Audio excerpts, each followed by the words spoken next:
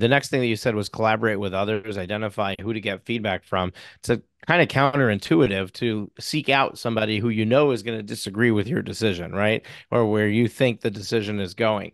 In practicality, how you know, how does somebody put this in into practice? What does this look like on a day-to-day basis when, you know, we've got these decisions being thrown at us? We're so used to come making decisions on our own and not necessarily inviting others into the conversation. When do I know? I know I'm asking you multiple questions, but I'm really approaching the same question from different angles. When do I know that this decision is stands up to it like it, it's big enough to require or to make sense for me to invite someone else in to give me feedback? Sure. Um, the, the, the first two checks are, are, are quite easy when you have you know a program a project a decision that's going to require support from someone else.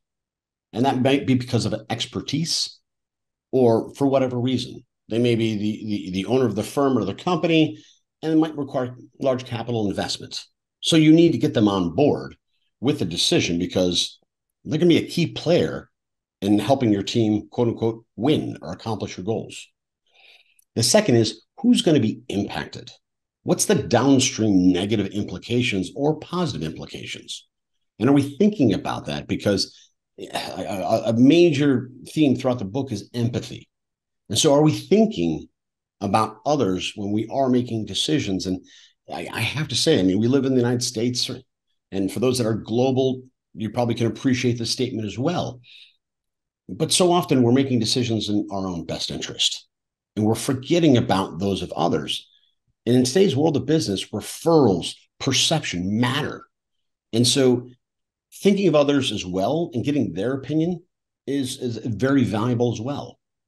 And then last but not least is, you know, to, to reach out to potentially experts. Somebody may not have a role in a decision, but they might have been through the same process or can empathize with your situation and provide you advice about how to navigate potentially a complex or tricky road and this is you know all components of of you know collaboration.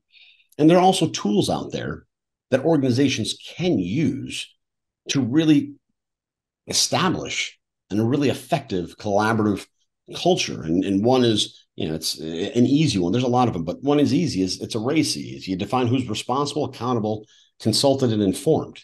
It's a very simple tool that when de- when deployed correctly just affects and moves a culture. And so I, I, I like to be very efficient with my time as well as my teams. And I don't, and, and I know, let me say this a different way.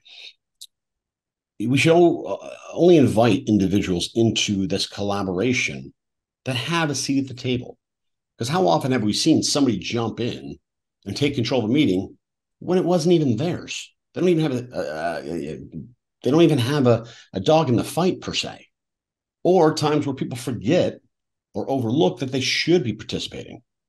And so this is a, whole notion of accountability and collaboration to making sure we've got all the right people sitting around the table um, and really coming to the best conclusion available to us with the information that we know of.